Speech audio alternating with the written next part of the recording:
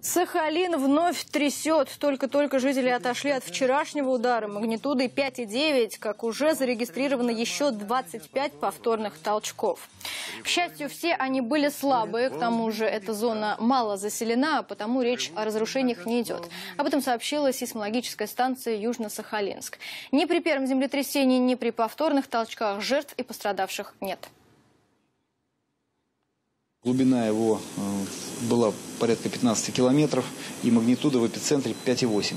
Данное землетрясение ощущалось э, на территории шести муниципальных э, образований острова Сахалин, это центральных и северных городских округов. Комиссиями по чрезвычайной ситуации муниципальных образований было организовано обследование территории населенных пунктов. По результату обследования установлено, что все объекты ТЭК и ЖКХ работают в штатном режиме, свет, вода есть.